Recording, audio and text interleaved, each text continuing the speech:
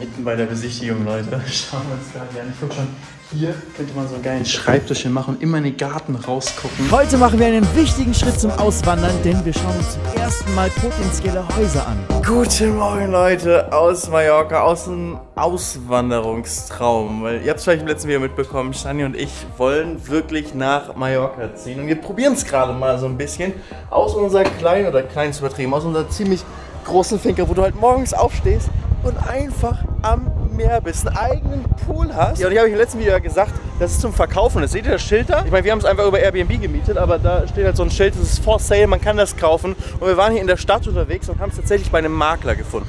Da isst man einfach nur sein Eis und auf einmal findet man sein eigenes Haus. Da haben wir auch den Preis. 3.200.000 Euro. Was sagst du dazu?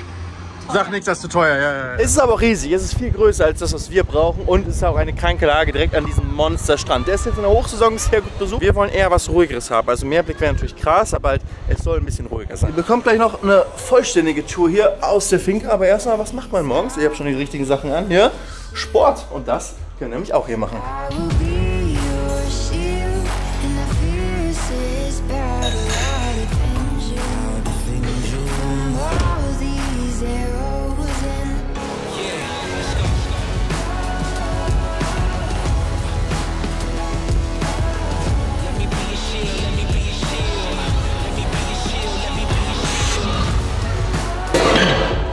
Training geschafft. Wenn das allerbeste ist, zur Belohnung geht es direkt danach ins Meer.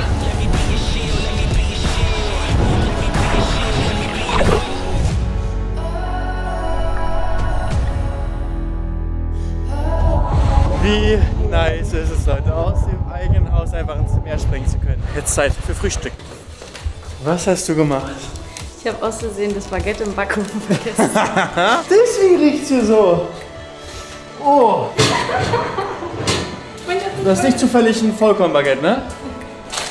Ich wollte ein warmes Baguette, aber ich habe ein neues gekauft. Einmal Avocado, Tomaten, Oh. Melone und frisch gepresster Orangensaft.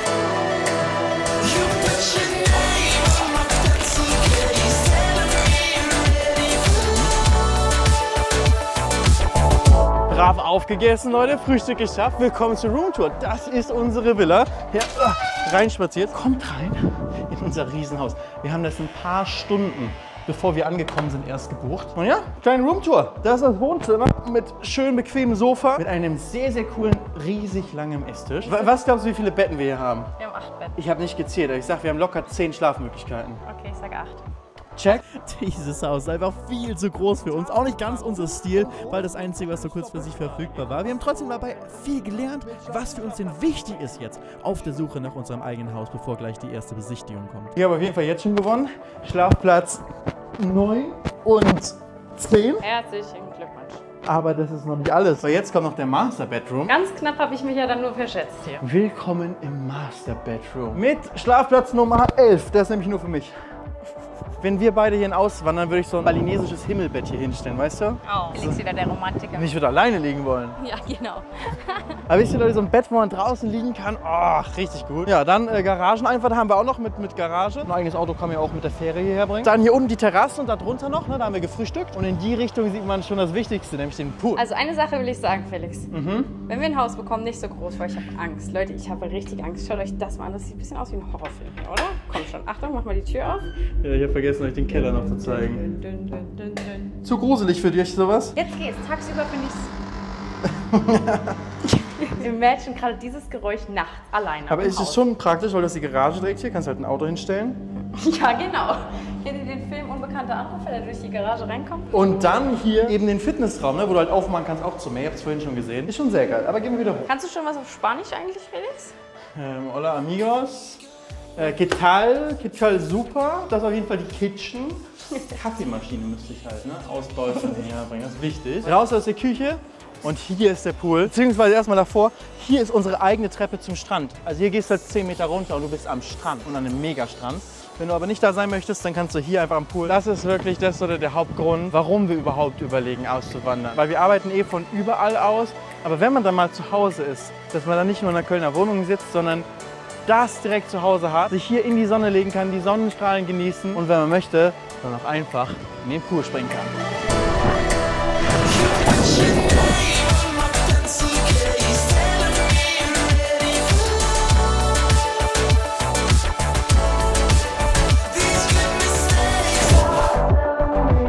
Was für ein Luxus das ist, wenn man seinen eigenen Pool hat. In so einem Land, wo man auch einen großen Teil des Jahres den wirklich nutzen kann. Ich meine, ich, ich bräuchte das ganze Haus nicht. Ja? Also ein Großteil vom Haus ist komplett unnötig, diese ganzen Zimmer. Vielleicht ein kleines Gästezimmer und ansonsten ein schönes großes Schlafzimmer für uns. Wohn- Esszimmer kombiniert mit einer Küche drin und dann eben so ein bisschen Außenbereich, wo man einen Pool hat.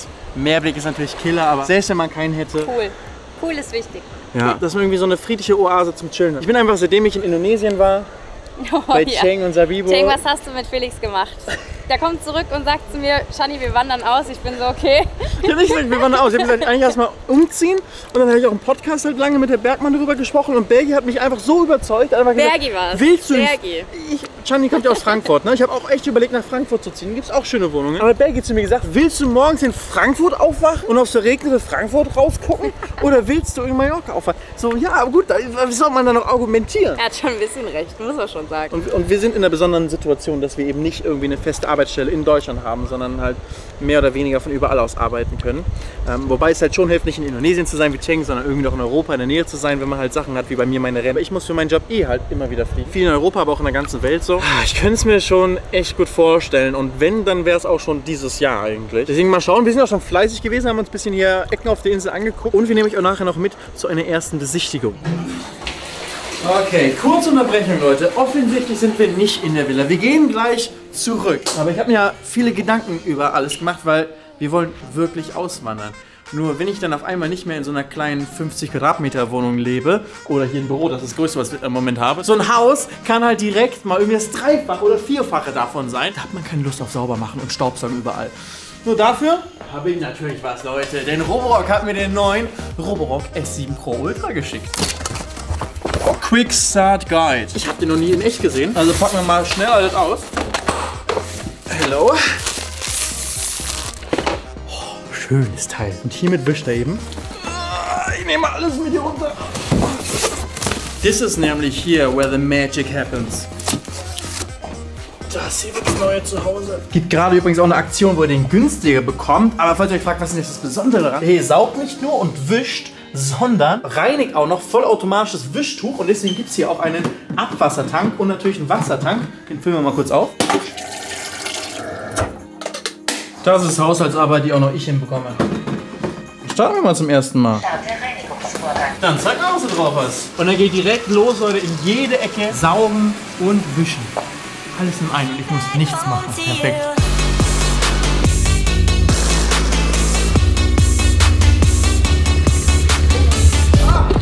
Okay. Mit Kamera auch ein bisschen gefährlich. Aber er macht ordentlich sauber. Das Problem ist nur, unser Büro ist halt viel zu sauber. Wir machen jetzt. Oh Gott, Alter, übertreib nicht. Direkt platziert. Schauen wir mal. Oh, da kommt er schon. Einmal rüber und jetzt ist einfach nichts mehr da. Ich sehe nicht mal mehr die Handcreme, das ist wirklich in einem Zug weggemacht. Und das liegt auch an der Vaporize-Technologie. Das nämlich, dass er hier hinten einen Lappen hat und den nicht nur hinter sich herzieht wie irgendwelche anderen Staubsaugerroboter, sondern der wirklich aktiv wischt, bis er auf dem Teppich ist, so wie jetzt. Weil da wischt man nicht und das erkennt er automatisch und zieht es weg. So, wenn er zurückgefahren ist, wird er automatisch hier ausgesaugt hier rein. Das dreckige Wasser kommt hier rein und neues Wasser wird wieder nachgefüllt. Karte vom Büro hat er hier in der App auch schon automatisch erstellt und ich habe hier zwei Bereiche gemacht, Studio und Arbeitsbereich, weil du kannst in der App halt alles automatisieren. Also wann er hier saugen soll und wischen soll und wann da, welche Saugleistung, welche Wischleistung, alles was man so braucht. Also wenn Staubsaugerroboter, Leute, mit dem Roborock S7 Pro Ultra seid ihr gut aufgehoben. Das ist natürlich definitiv kein Einsteiger-Staubsaugerroboter, sondern das ist ein richtiges Premium-Modell. Wenn ihr wissen wollt, wie teuer das ganze Ding ist, gerade gibt es eine Aktion, ne, ist ein bisschen günstiger, checkt den Link unten in der Beschreibung aus. Und ja, damit zurück nach Mallorca. Let's go! Let's go. Wollen wir mal in unsere zukünftige Gegend oder was? Das ist übrigens unser Inselauto, ein schöner Audi A1, nice Teil. Ich liebe es, dass er diesen kleinen Lufteinlass hier hat. Also der ist nur fake, aber er sieht einfach gut aus. So. Das Mädchen. Tschüss. Da. Süß, Kleine. Noch einmal Zuschauer kurz glücklich machen. Dann fahren wir mal los und gucken uns ein bisschen die Region an, wo wir denken, da könnten wir uns vielleicht ein Haus vorstellen.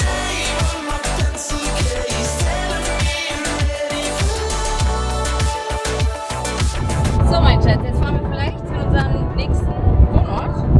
Ach hier. Ja, irgendwie, hier riecht es auch schon nach Kuh ein bisschen. Oh ja. wir ziehen aufs Dorf, Leute. Oha, imagine, so da oben. So stelle ich mir das tatsächlich vor hier. Das hat schon ein bisschen so Beverly Hills Vibes da oben so, ne?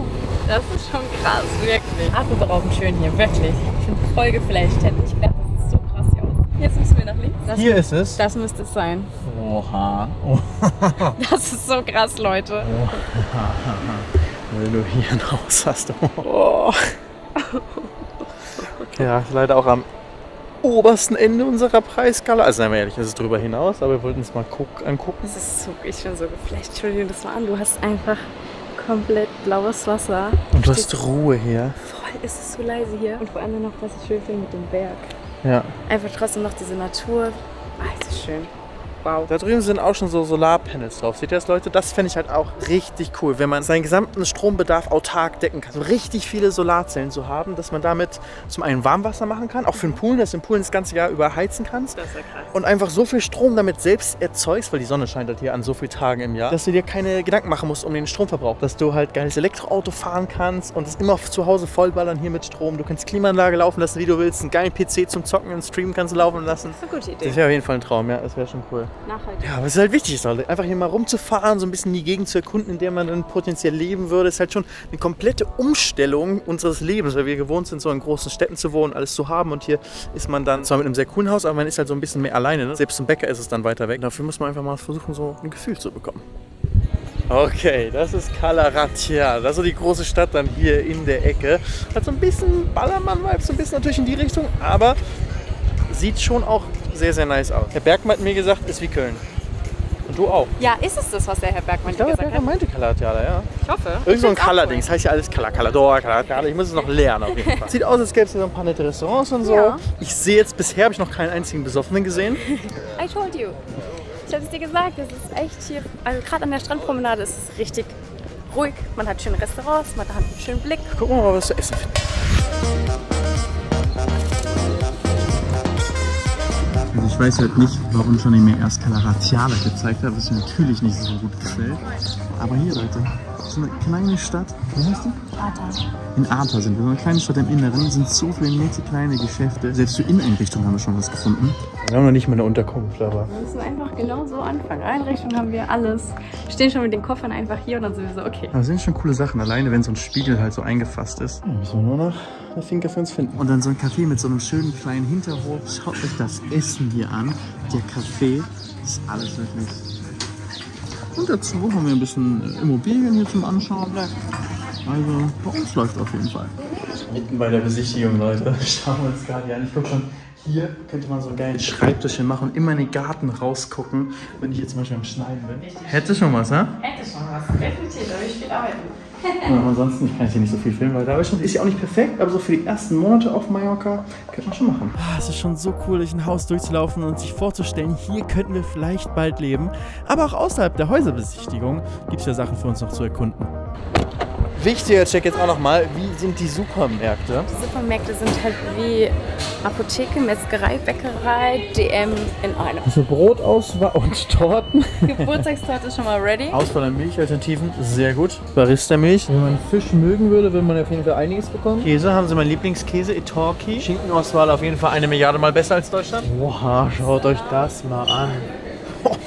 Champagne Chani gibt es auch ganz schön viel hier. Ganz wichtig natürlich Süßigkeitenabteilung. Kein Land der Welt hat so gute Süßigkeiten wie Deutschland. Aber weiß nicht warum, aber die finde ich ganz geil. Und die hier, die hole ich mir mal in Spanien. Es geht ja auch um Lebensqualität, weißt du, was du halt alles im Supermarkt kaufen kannst. Ich merke schon. Zum Beispiel Schinken ist hier sehr gut, aber Süßigkeiten zählt auch dazu.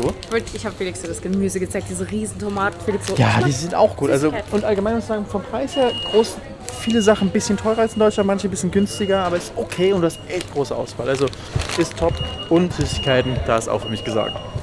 Ich kann euch verraten, wir haben schon die Zusage, dass wir ein Haus nehmen können. Wir warten jetzt noch ein bisschen und gucken uns ein paar Alternativen demnächst an. Aber ja, die Entscheidung rückt jetzt immer näher, dass wir wirklich nach Mallorca auswandern. Auf Instagram, @felixladen, werdet ihr noch mehr erfahren. In unserem Podcast Gemütlich Nachsitzen rede ich auch darüber. Und dann wahrscheinlich auch hier wieder demnächst in einem YouTube-Video. Bis dahin, macht's gut und ciao, ciao.